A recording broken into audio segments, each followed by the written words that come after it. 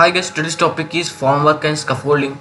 First one is formwork. Formwork is a temporary structure which is used as a mold to pour the concrete and support it until it becomes hardened and self-supported.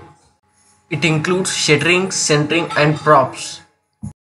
First one is shuttering. Shuttering is a vertical temporary arrangement used as mold to the columns and beam sides and slab sides. Only side and it means only vertical one is called as shuttering.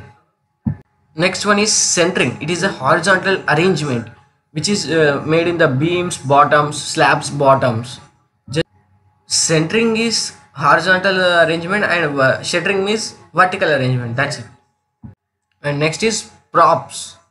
These are the support poles uh, kept under the bottom of the centering to support the centering and, and bear the dead load of the concrete.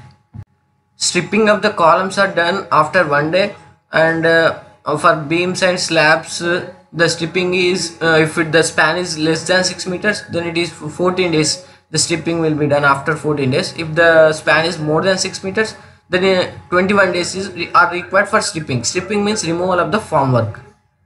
This one is a scaffolding. It is a temporary platform provided for the workmen to work uh, the works like uh, plastering painting uh, brickworks or any other works which are above the ground level this one is used.